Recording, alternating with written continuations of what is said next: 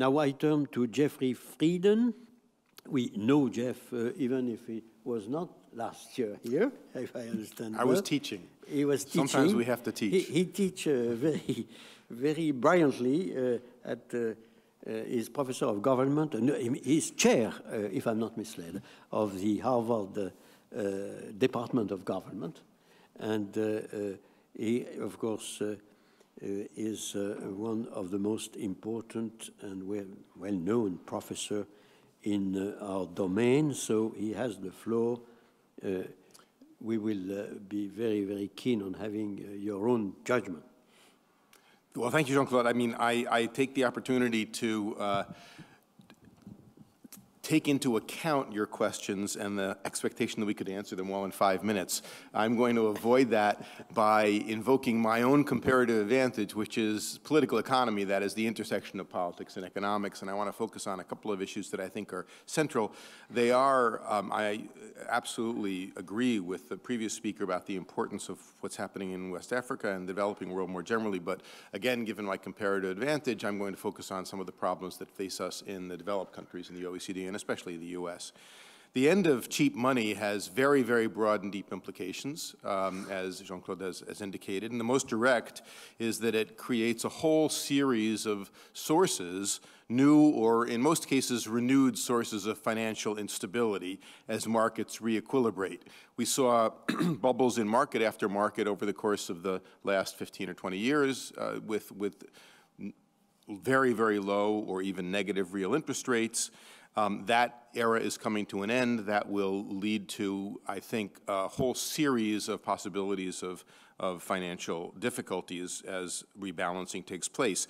It's not surprising, as Jean-Claude has indicated, I think, that, that many of these problems will surface in the non-bank sector, in the non-bank financial institutions. There is in the in the regulatory literature a concept of a regulatory dialectic, which is that the markets innovate, regulators try to running behind the markets, try to figure out how to uh, strike a balance between innovative activity on the one hand and safety on the other. But of course, the regulators are usually running after the, the markets rather than the other way around. The regulators catch up eventually, usually in times of crisis, when, these, uh, the, when the riskier the financial institutions have collapsed. They Im impose a whole series of new regulations, and then in the next round, the private sector tries to find their way around them, and that's what's happening in this instance as well. And, I, and so I think that we face the unfortunate prospect of a new round of zombie financial institutions and zombie firms that will exercise, or at least have the threat of exercising a serious drag on economic growth. So that's the first problem. I think we, what are the not not just where is the financial instability going to come from, but and not just what will the policy response be, but um, because there are such powerful uh, uh, pressures, political pressures, to keep essentially insolvent financial institutions and non-financial institutions alive to try to avoid uh, a further crisis, will we have another, I would say, Japanese style or other styles, a series of zombie banks and institutions with, with the resultant drag on economic growth? Second problem is more general, and that is the constraints on economic policy in the current period.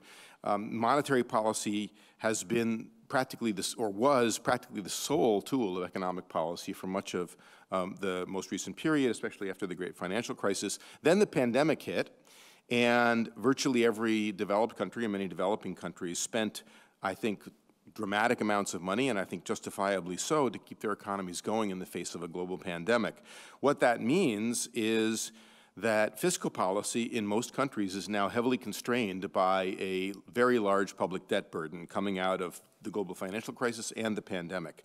In an ideal world, we would have a monetary policy that was uh, accompanied by a fiscal policy to try to, in this case, because we, we understand that the monetary policy is necessary in the current circumstances is going to be restrictive, we would have a fiscal policy that would try to cushion the blow, for especially for some of the more vulnerable segments of the population. And, but as is, it, the, in the first instance, in, the, in previous uh, periods, monetary policy had carried too much of the burden.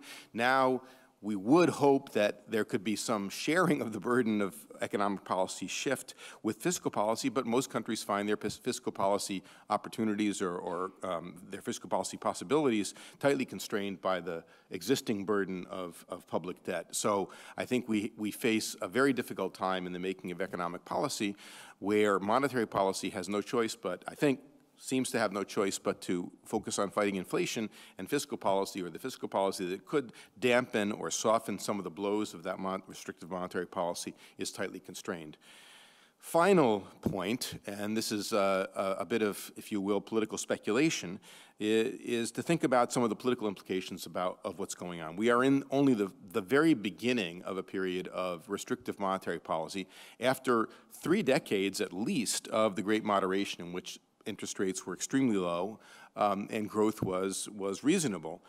Um, in that context, as restrictive monetary policies kick in, they will slow growth as they already have in, in, in, some countries more than, more than the U.S., but in other countries, eventually that will, that will kick in. That, after all, is the purpose of restrictive monetary policy. Um, I think that from a political standpoint, we can anticipate substantial pressure arising to take the brakes off monetary policy.